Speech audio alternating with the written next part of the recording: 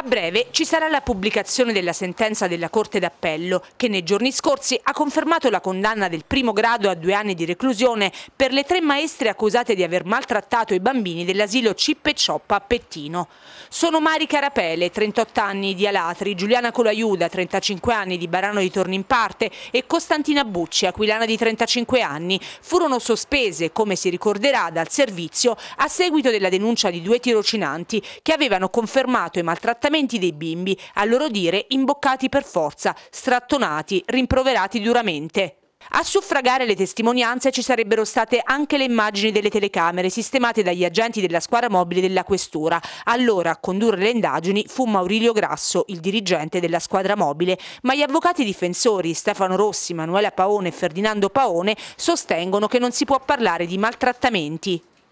Dal video non emergerebbero infatti violenze fisiche o brutalità varie, ha spiegato l'avvocato Stefano Rossi. In alcuni casi si tratta di rimproveri considerati eccessivi dall'accusa. Ovviamente le assistite non la stanno vivendo bene, hanno detto i legali. Si valuterà il ricorso in Cassazione dopo la pubblicazione della sentenza.